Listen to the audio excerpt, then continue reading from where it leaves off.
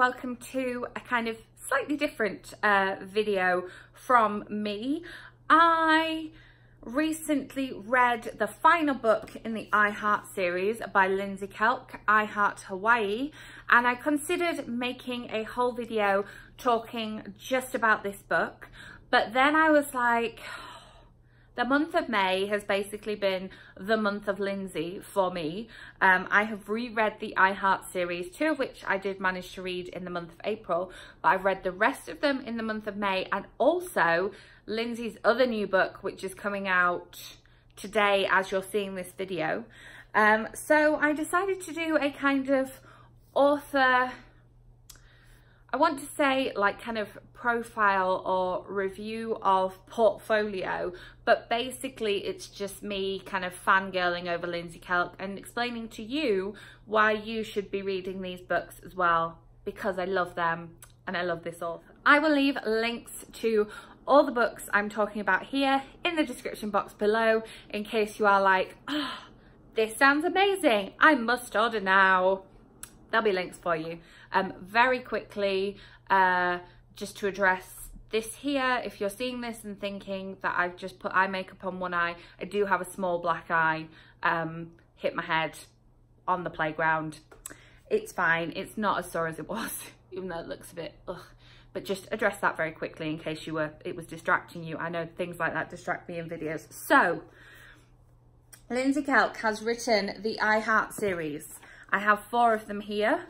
Um, it starts with I Heart New York, which sees Angela discovering her fiance is cheating on her at her best friend's wedding, her breaking the groom's hand with her Christian Louboutin, and then jumping on a flight to New York with no plan and the fun and frolics that she that ensues from there she then meets her um, future best friend jenny lopez lopez and a couple of interesting men one of whom pops up in a few other books uh, I will try not to include spoilers, but when you're talking about a whole series, sometimes it's difficult not to spoil the first couple of books. But I will do my very best, everyone, okay? Um, the second book in the series is I Heart Hollywood. We then move on to I Heart Paris, I Heart Vegas, and then the ones I actually own, I have I Heart London, I Heart Christmas, which is also sparkly because it's Christmas, I Heart Forever, and of course the final one, I Heart Hawaii, which they sent me this gorgeous limited uh, run proof copy of, which says I Heart Lindsey on. They did include an I Heart Hawaii tote book, tote bag. Um, I have reread the entirety of this series twice now because I reread all the I Heart books leading up to I Heart Forever before that came out and just loved every moment of that. I read all the books for the first time in a paperback form but I then listened to them on audiobook as I was rereading and I really really recommend the audiobook. I think the narrator does a great job and you have the same narrator for all the books in the series. Um, I loved I Heart New York. It was a great story about what can happen when you take a few risks and what you can be when you give starting over a try. Um, I read it when I really needed to escape to New York and I just loved it for that. And I get these feelings of nostalgia coming back every time I reread it. But the rest of the iHeart series is all linked so closely and so interwoven back to this original book that you get those feelings as you are moving through the books. I Heart Hollywood was fabulous. Lindsey Kelk did make a video talking about the fact that she wrote I Heart Hollywood when she'd only been there like once for a visit and it didn't come off in the best light. So Angela doesn't get on very well with Hollywood. She now lives in LA um, and knows that it is better than Angela found in the I Heart book. But there are fun and frolics and japes and in almost every I Heart book a phone ends up in the water and, you know, somebody might end up in the water. There are things that are just part of the recipe of every I Heart book and that's why it's such a great series to read. I Heart Paris, I've spoken before about the fact that it's out of the whole series, it's my least favourite. It's still a five-star read for me. My mum recently read it and she kind of hit the nail on the head as to why I like it less than the other books because she was like, that was so stressful. Angela had to go through so much and she didn't treat people very nicely and just everything she was facing. I felt stressed reading it. And I think that's probably why I dislike it slightly so dislike it like it slightly less than the other books in the series. It is still a five star read. I still love it. Um the other thing is that i don't heart paris. I've been to paris a couple of times. It's not my favorite city. I much prefer new york or vegas or hollywood or london. Um and that's probably why. Um, then I Heart Vegas is the next one and I think I Heart Vegas is probably my favourite in the series although having reread I Heart Forever that might be my favourite. I don't know. The prologue to I Heart Forever is one of my favourite things in the world. The prologue to I Heart Forever is just, just typifies everything about Angela and Jenny in this series and I just love, love, love it. Um, then we have I Heart London, which involves a wedding. Always great. And we get to see Angela being back in England and what that means. And as someone who's lived in both countries as well. You know, it's it, you think it's the smoothest of transitions because both places are kind of home, but actually they also have a few problems with them and it's difficult to adjust sometimes and you know the whole elevator versus lift thing um then we have i heart forever which felt very much like the ending of a series a lot of people thought it was the end of the series but then we found out there was going to be more and I Heart Hawaii is the end of the series.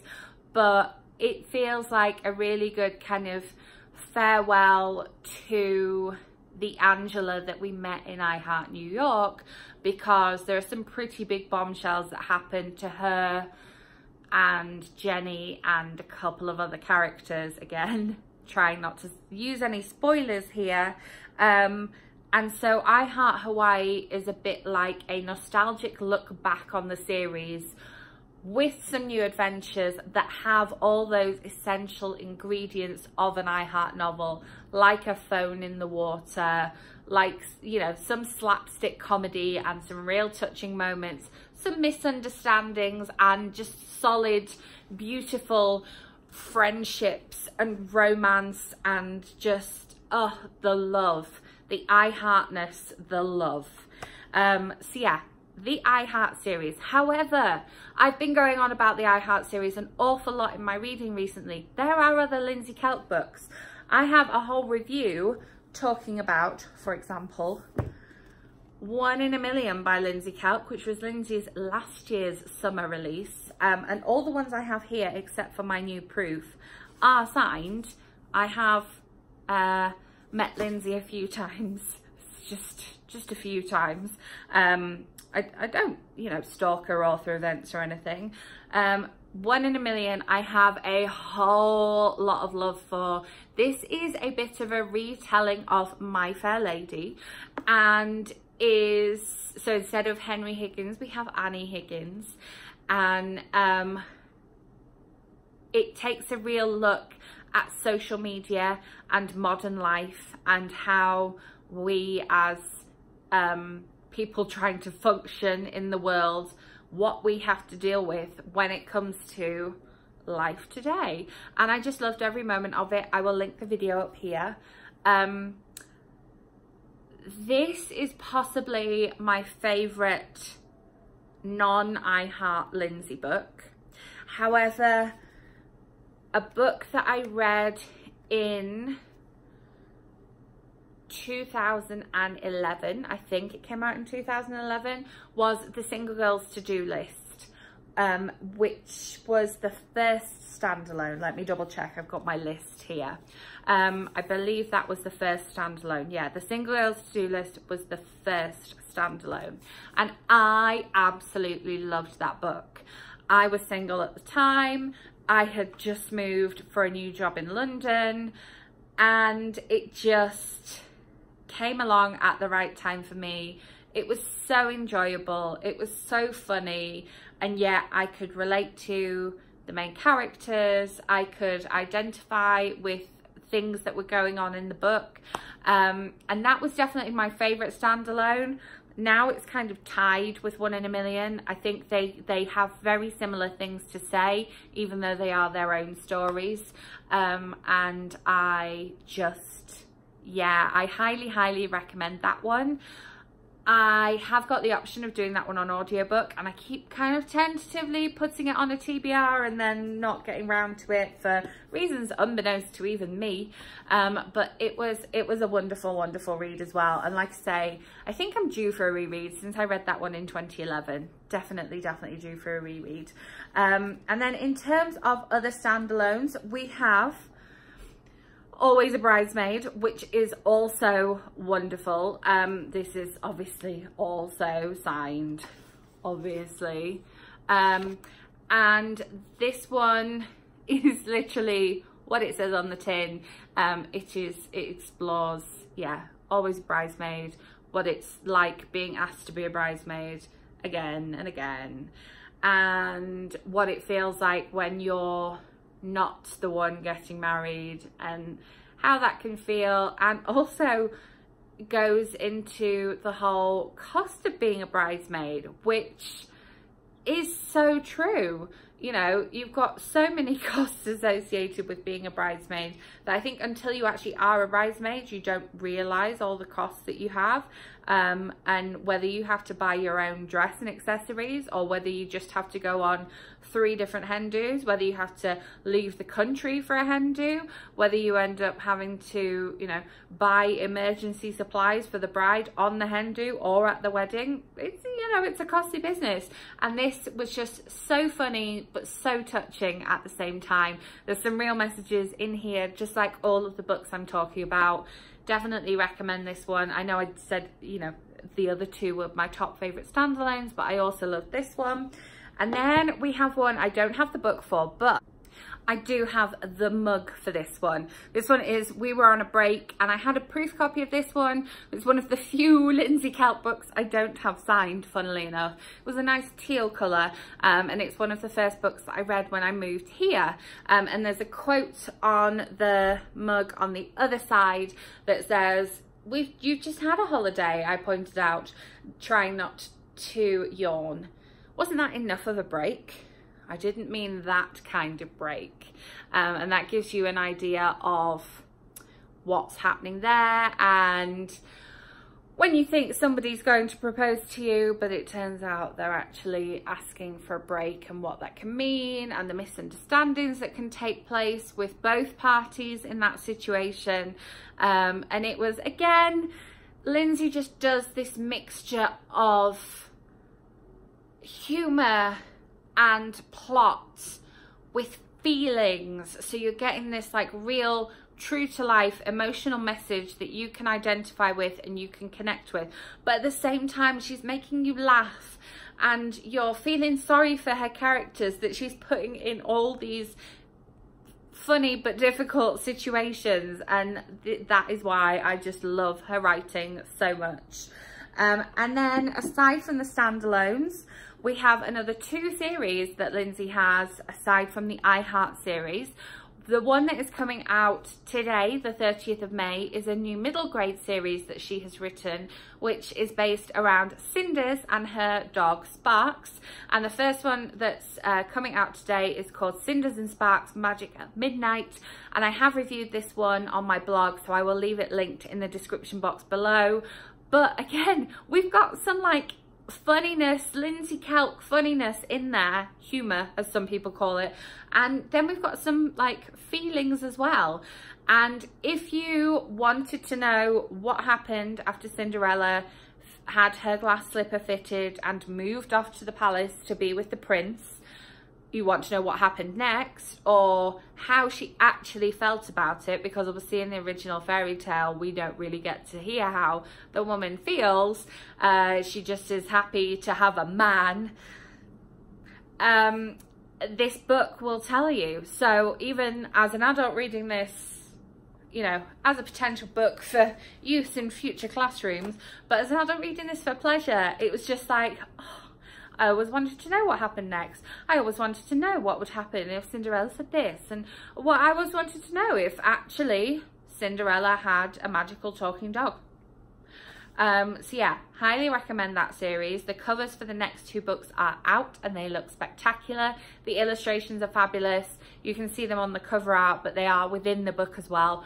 Really enjoyed the illustrations. Um, Cinder, Cinder's hair. Oh, it's so big. It's so big. It's as big as her personality. We love it. And then the other series that uh, Lindsey has is the... Um, it's, it's just kind of called the Girl series. So we have About a Girl, we have What a Girl Wants, and we have A Girl's Best Friend. And I read About a Girl in paperback form, obviously went and got it signed, you know, because you have to. Um, and it was a really great start to the series. And this character who is the girl in this series, also pops up a couple of times in the I Heart series. So if you like a bit of crossover in your series by the same author, definitely, definitely check these out. Um, the tagline for this one is basically, I'd lost my job, I'd lost the love of my life, my best friend was epically annoyed, and my flatmate had pro probably had a hit out on me by now. The reason I point out that I did the first one in paperback is because I did the subsequent next two in audiobook. I should have checked before making this video whether it is the same narrator that does the I Heart series as does the About a Girl series. But because I'd done them in audiobook, I got a NetGalley copy of the third one, but I couldn't read it because I needed to hear that audiobook narrator because I associated her with these characters now. Um, this series obviously only currently has three books. I don't know if there's another book in this series planned, um, but this just, it has the same feelings as the I Heart series. It's got that same mix of humour and, um, you know, something you can identify with and exploring different emotions and what different situations can take, how different situations can affect you. Um, the, the only reason I favour the I Heart series over the Girl series is the fact that I'm just so attached to the characters in the I Heart series. And I think that's possibly because there's only three books in this series. But if you are done with the I Heart series, like me, and you've got you've gone out today and got your copy of I Heart Hawaii, then there's another series and there's three books in this series. Not only do we have four different standalone novels, we also have three in the girl series. And if there's crossover for the I Heart series with this character going in there, you know, a little character with the initials JL might pop up in one of these books. You never know. Um, yeah, just have a lot of love for everything this author has written. As I said, links will be in the box if you want to go away and read any of these. Highly, highly recommend them. I hope I've given you an idea of what you are getting yourself in for. I hope if this is a new author to you, I have convinced you to give her a try and give these books a try. If you've read a couple of Lindsey Kelk novels and you're wondering where to go next, I hope I have helped. Uh, please do let me know in the comments if you are a Lindsey Kelk fan or if maybe I've turned you on to this author. Um, I would love to hear from you. Please make sure you're subscribed so that my next video lands in your subscription feed. I will back, be back with another video for you on Tuesday. Um, so I will see you then. Thank you so much for watching. Bye.